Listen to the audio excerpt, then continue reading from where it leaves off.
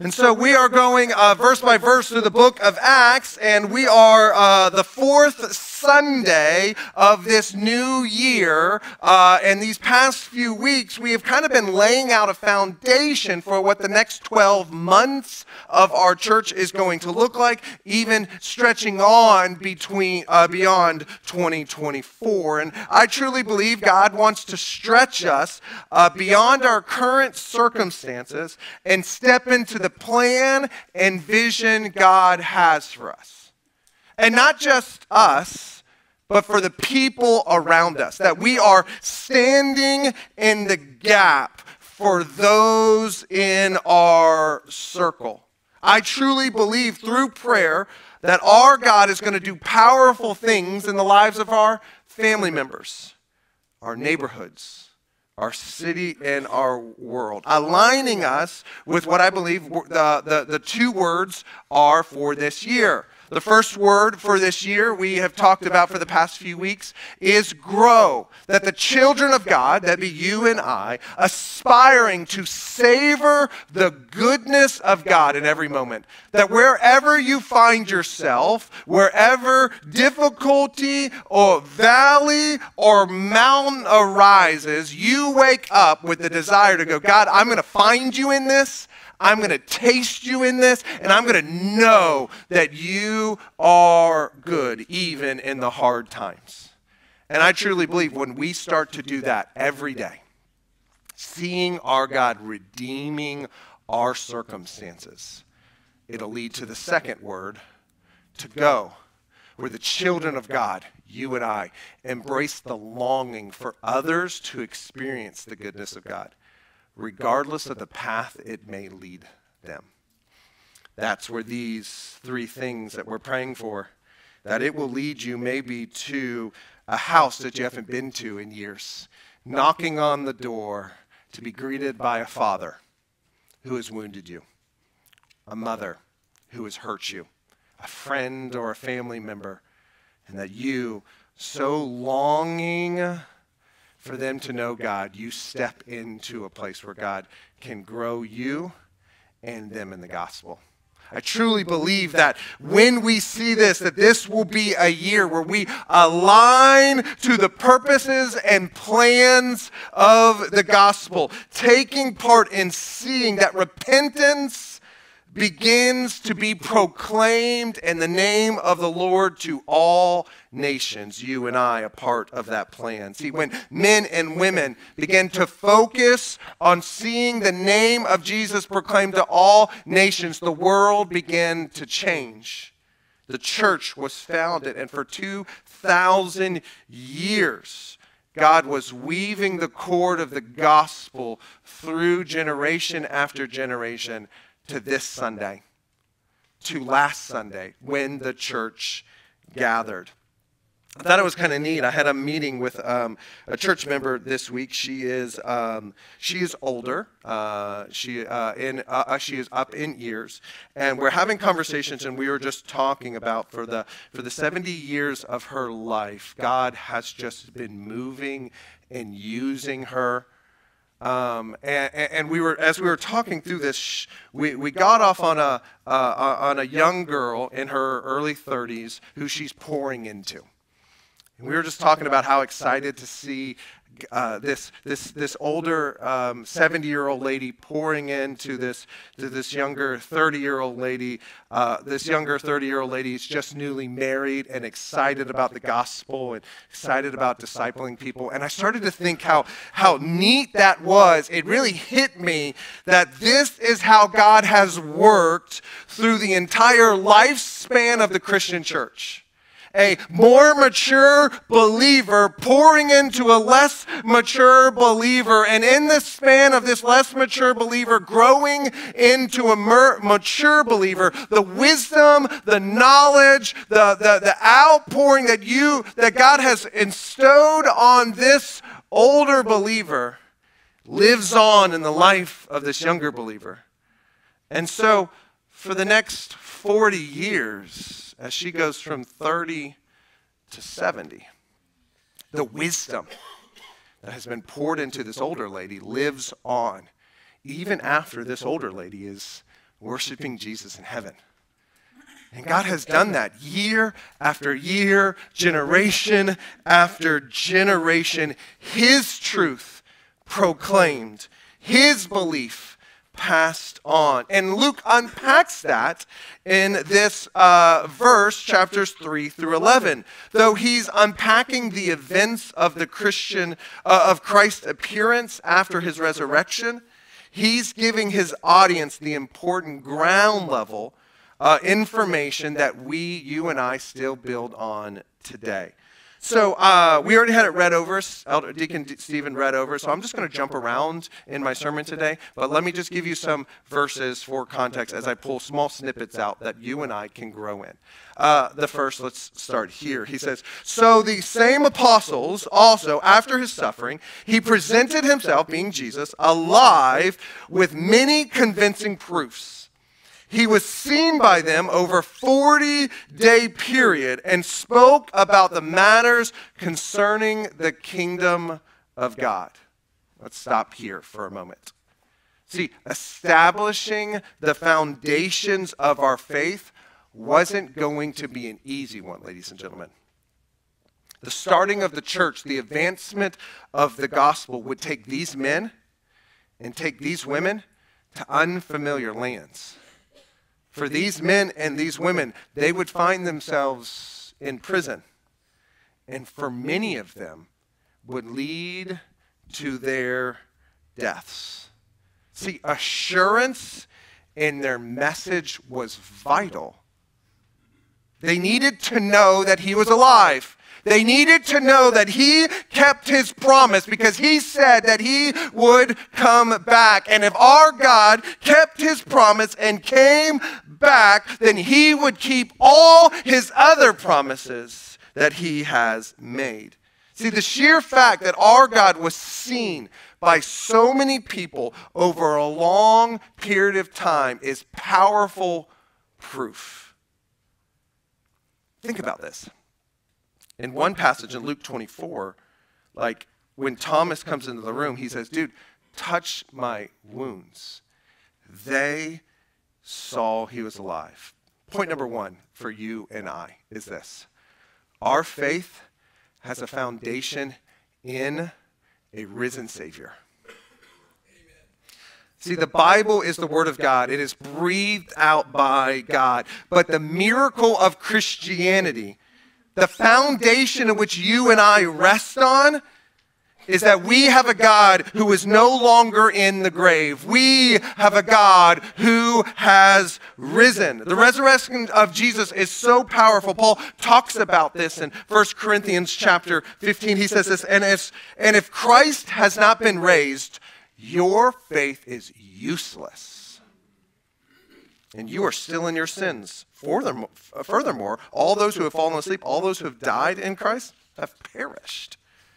For only in this life we have hope in Christ. Uh, we should be pitted more than anyone else. But then he says this But now Christ has been raised from death, the first fruits of those who have fallen asleep. And since death came through one man, the resurrection of the dead also came through one man. For just as Adam, the first man ever created, sinned, uh, just as Adam all died, so also in Christ all will be made alive. See, ladies and gentlemen, the resurrection is already, but not yet, reality for you and I. Let me say that again. Our resurrection is a reality and a not yet reality for us as Christians.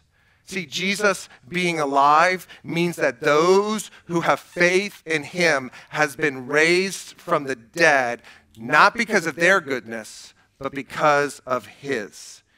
And yet still, you and I await this experience of resurrection, as Hebrews 8, 22 through 23 tells us.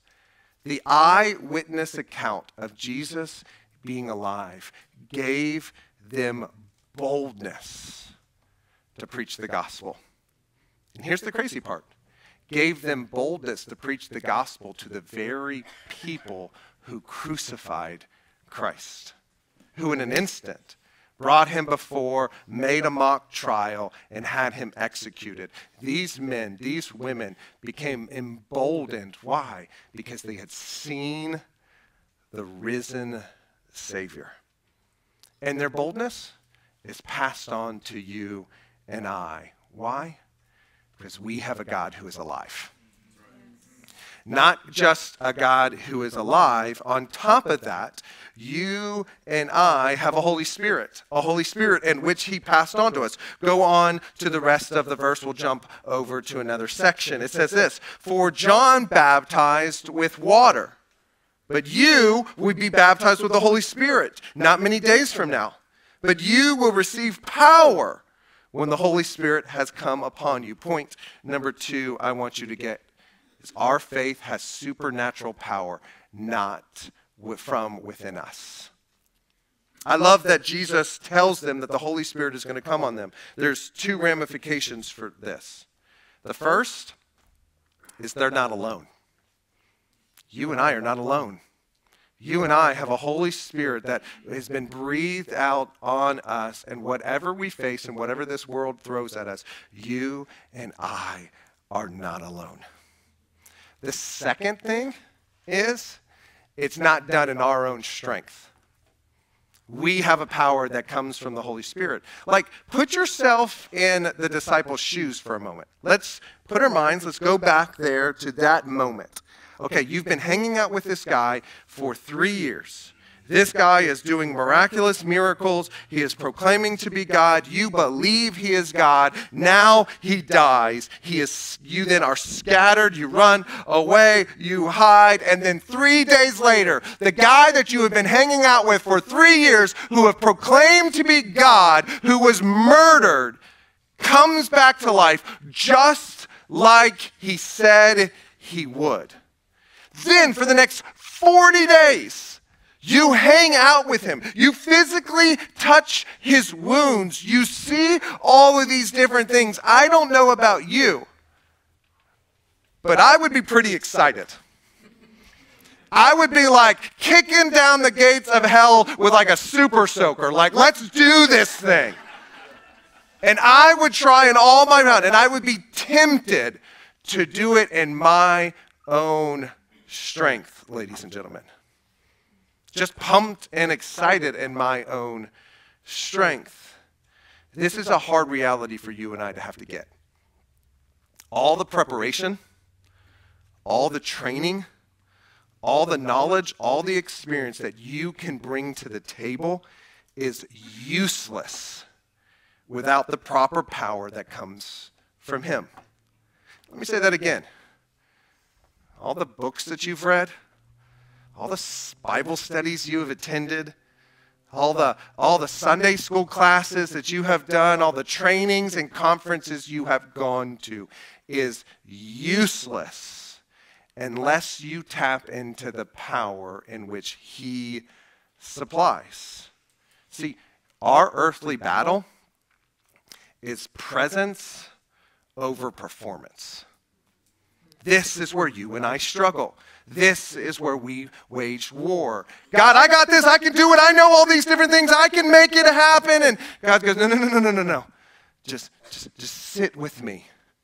Sit with me. Be with me and see what I can do. This, this, this word, uh, we have a, a, a dynamite power inside us. That word for power that we saw in this verse, that you, that you, will receive power, is dunamis. It's the, the Greek word where we get dynamite for, from.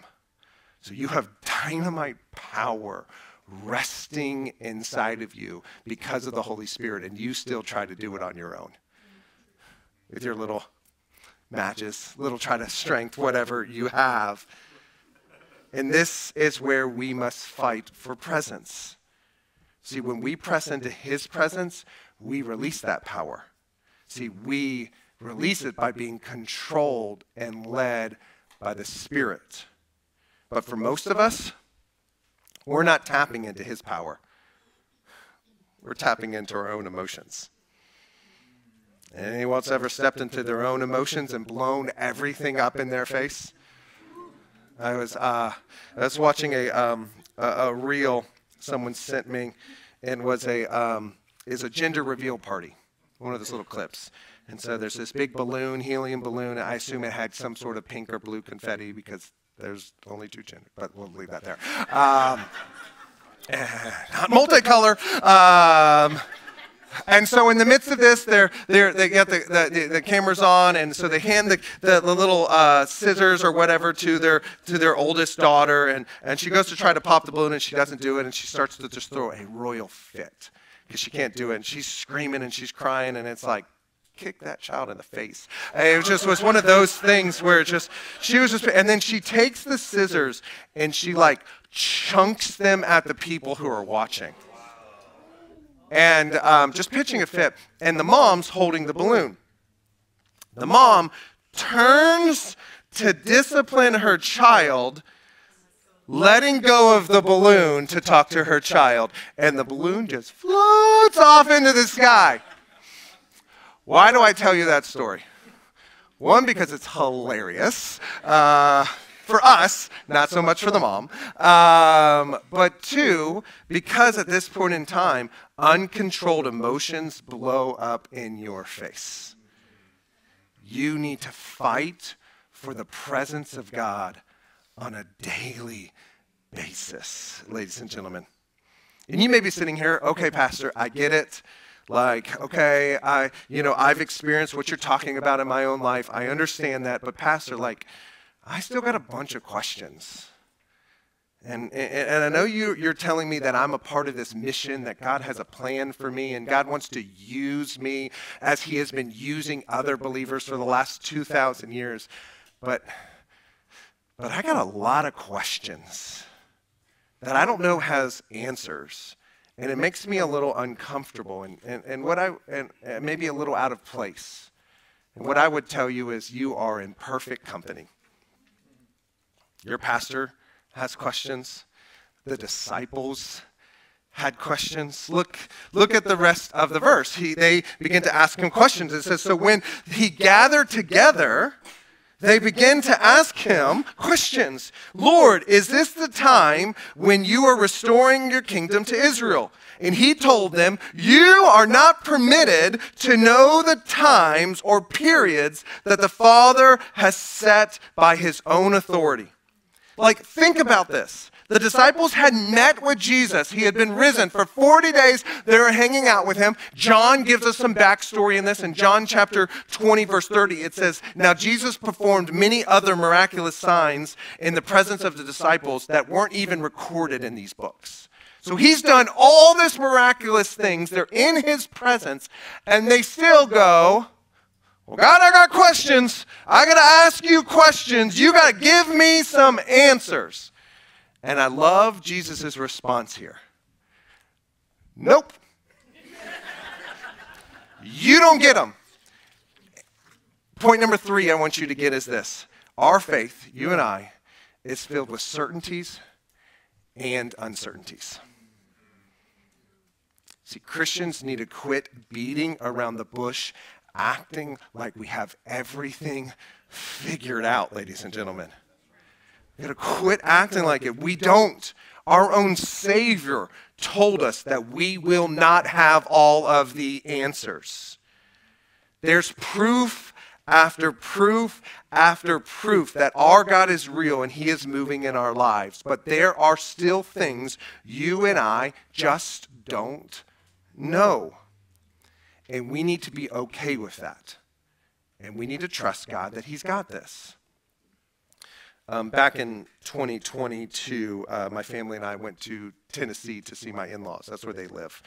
Um, and um, we're on the side of the mountain, and there's this big river on the side of the mountain, and there's big boulders uh, not sand, boulders. I know you Floridians don't understand this, but like a boulder is a big rock.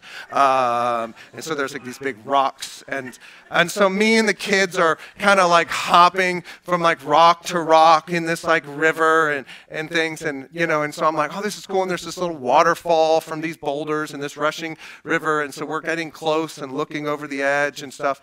And out of nowhere, I'm, I'm going from rock to rock.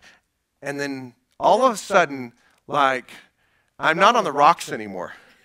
Like I'm in the middle of this river, like completely soaked, like like I'm about to drown tear type situation. Luckily, the only thing bruised was my ego. Um, and what seemed like a solid foundation was slippery ground. The Christianity that tells you to blindly trust, to never ask questions, the Christianity that tells you to pretend that everything is perfect and to never show weakness, the Christianity that, that tells you to never act like you don't have every answer is slippery ground, ladies and gentlemen. Slippery ground. Many Christians act this way. And here's the crazy thing many of us act like we got it all together, that we have all the answers, that we can answer it, because we don't want Christianity to look weak. Our own God told us, You're not going to have all the answers. And at the end of the day, Christianity's weakness or strength isn't hinged upon your knowledge. It's hinged upon a risen Savior, ladies and gentlemen. And we have a risen Savior. So, what I would challenge you to do is ask all the questions you can. Seek all the answers that are available, and then, much like the disciples, believe God will reveal in His time the rest. And if someone who is not in the faith, because as we are praying through these things, people are going to ask you questions. If someone comes up to you and your biggest, some of your biggest I can'ts, why can't you share your faith? Well, Pastor, I can't because what if they ask me a question I don't know? Great. Look at them and go, I don't know that answer. I don't know that answer. Let me pray about it. Let me see if I can find an answer, and let me see if our God has revealed an answer to you. But here's, you know what, I may not be able to answer that question, but I can answer this. We have a God who is alive.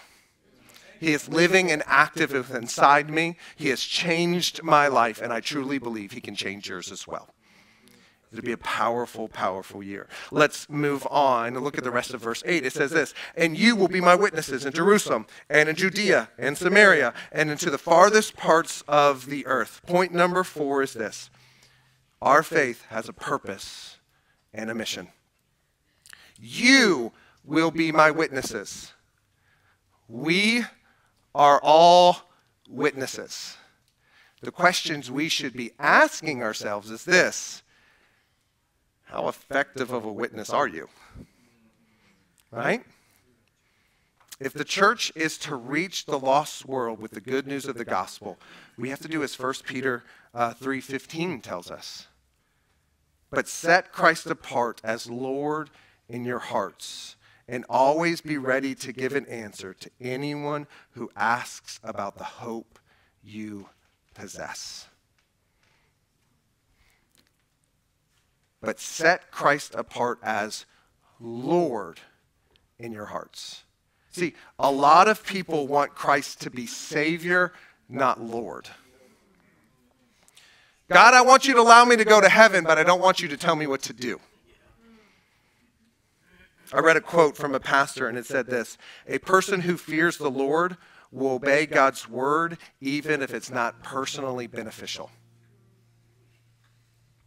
Our God has a purpose for his church, a mission for us to complete. And our lives should fall in step with that. Why? Because of the last verse, look what it says.